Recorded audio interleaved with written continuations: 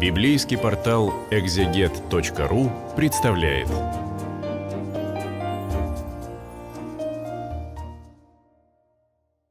Продолжаем изучение Евангелия от Матфея в рамках библейского портала экзегет.ру, глава 18.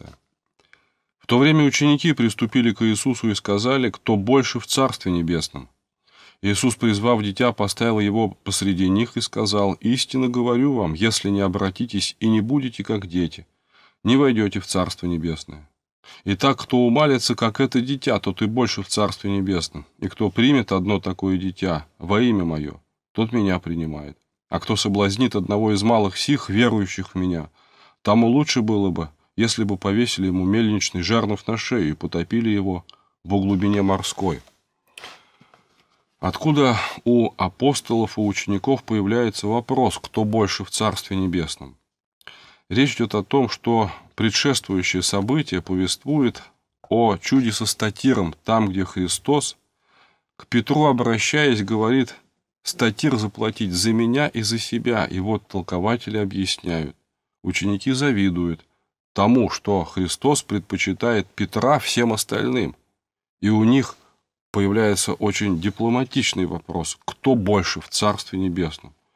Иисус призывает дитя – поставил посреди них, сказал то, что именно вот таких есть Царство Небесное. Кто не умалится, как этот дитя, тот не войдет в Царство Небесное. Чем ребенок отличается от взрослого человека? Святитель Иоанн например, говорит, что дитя очень незлобивый.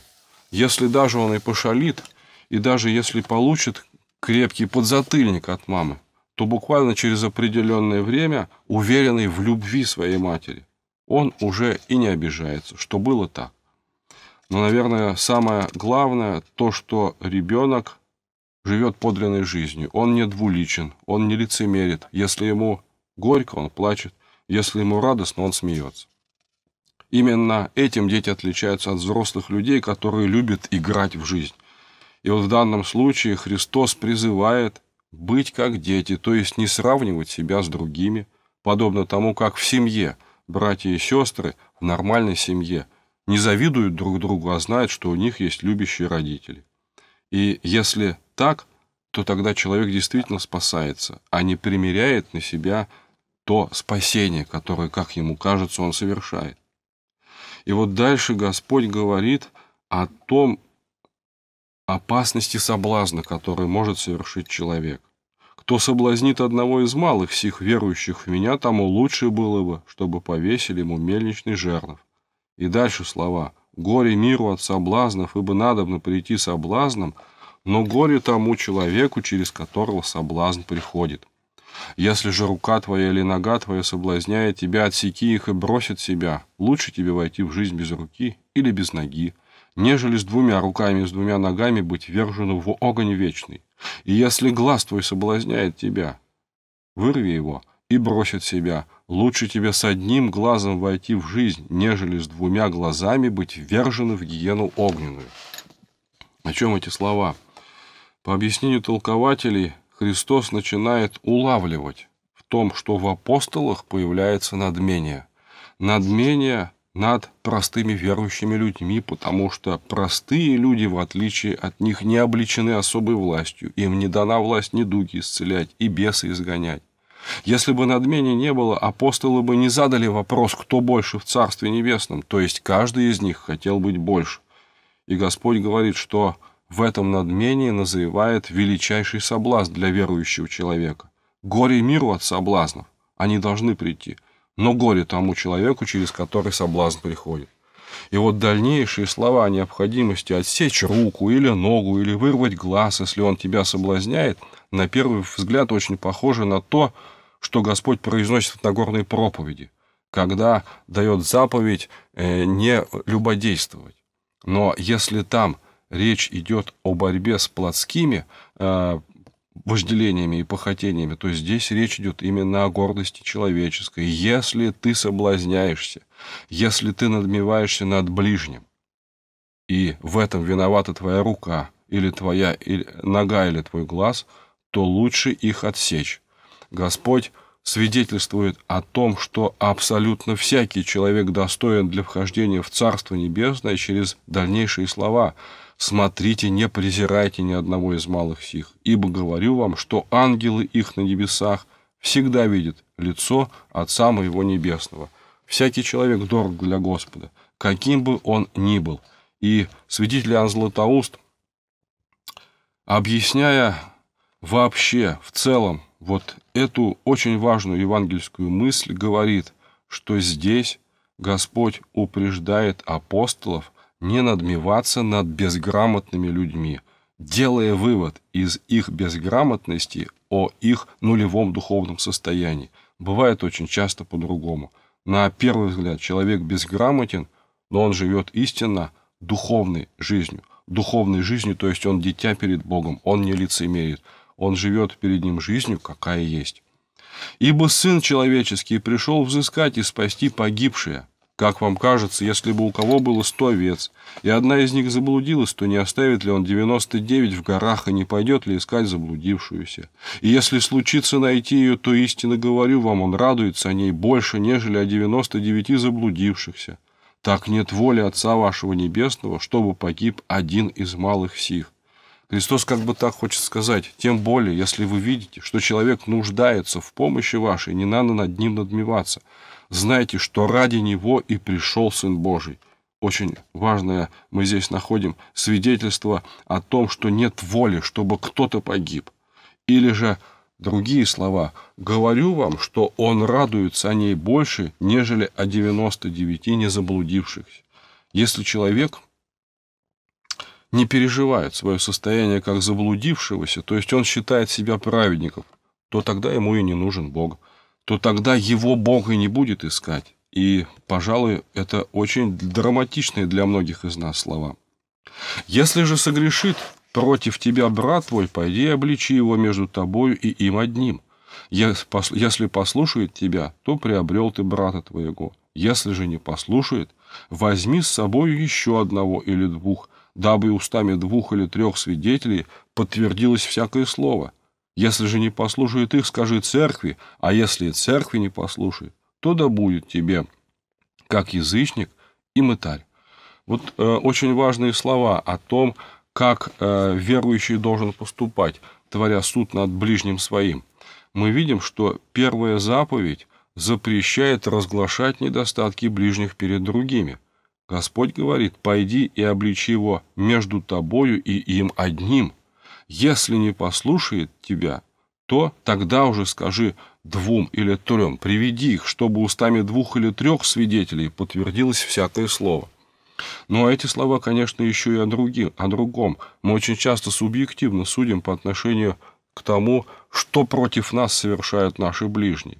И часто бывает так, что наедине, выясняя между тобою и тем человеком, который тебе не нравится, что он делает, оказывается, что ты не прав, а не он.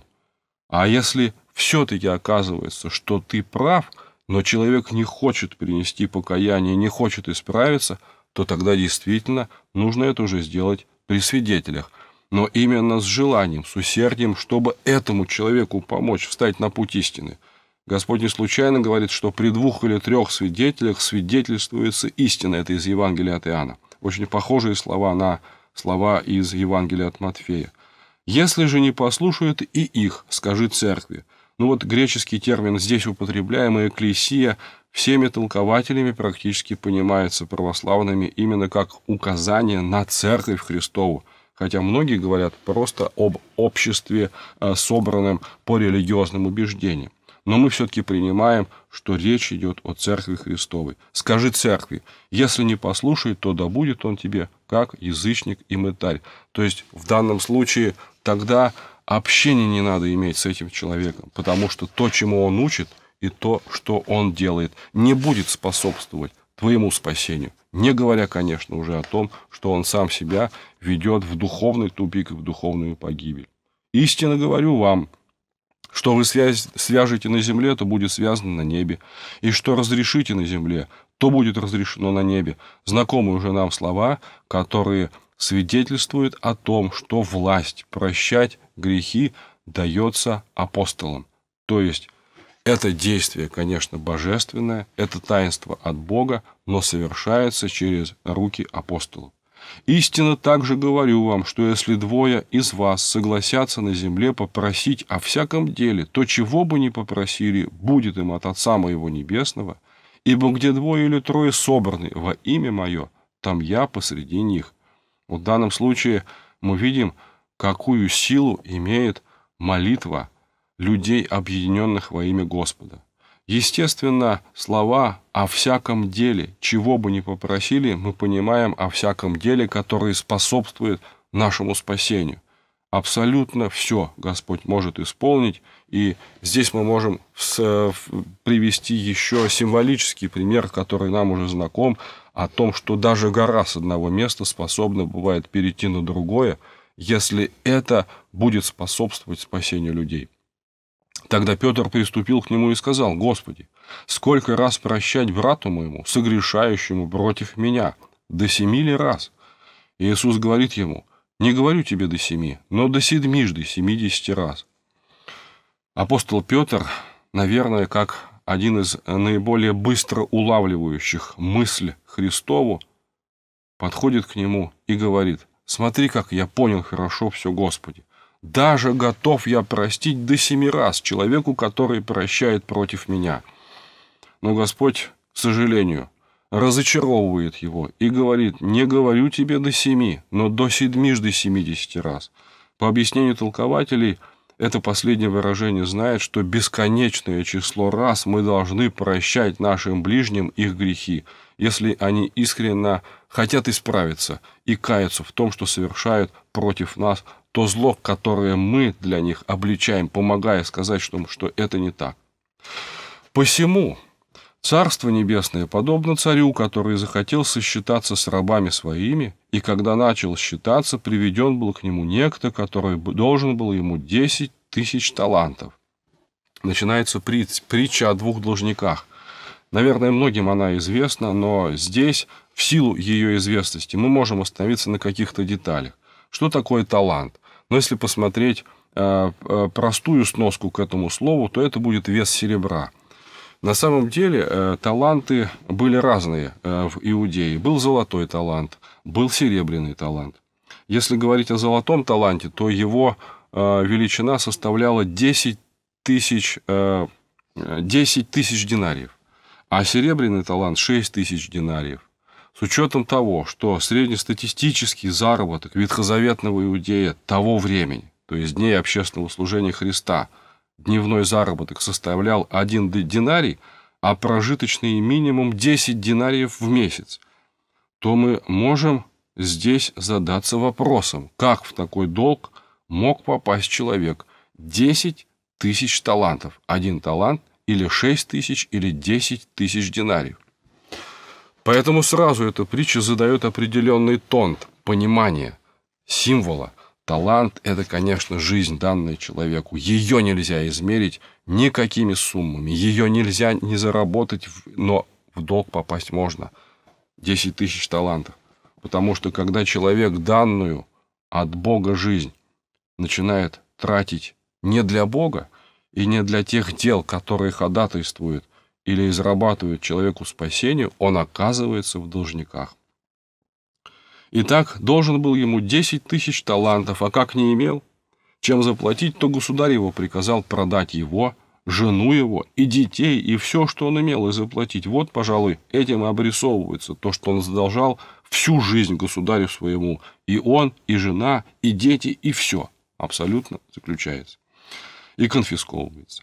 Тогда раб тот пал и, кланяясь, ему говорил, «Государь, потерпи на мне, и все тебе заплачу». Государь, умилосердившись над рабом тем, отпустил его и долг простил ему.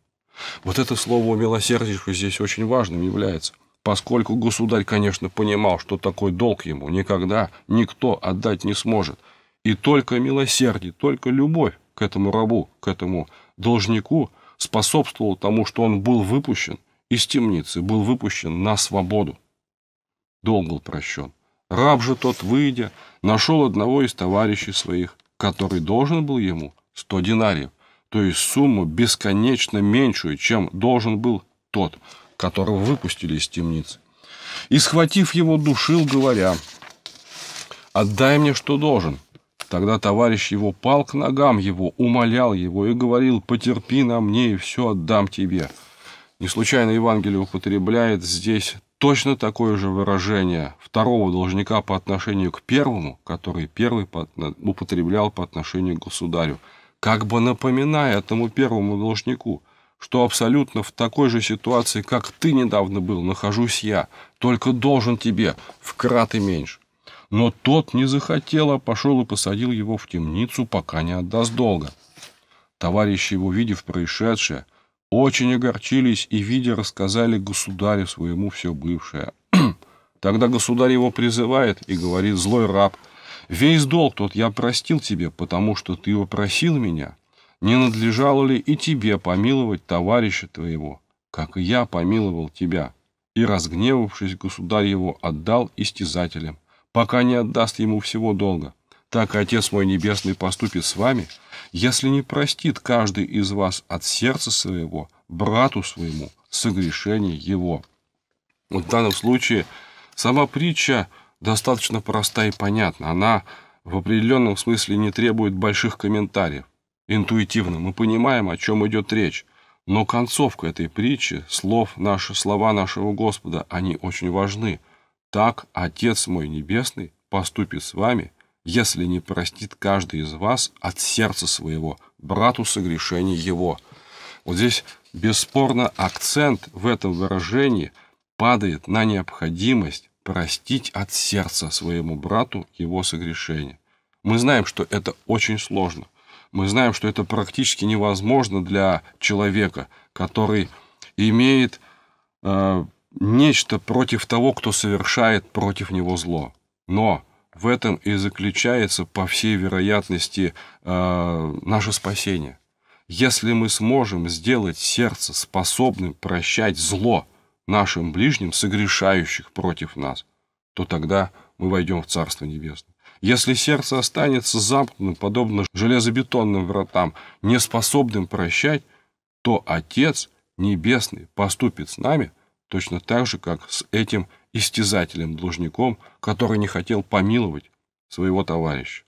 Поэтому, по сути дела, эта притча не только о великом милосердии Божьем, но это великий призыв к тому, чтобы мы сделали все, озаботились крайне тем, чтобы свое сердце сделать милующим. На этом заканчивается 18 глава.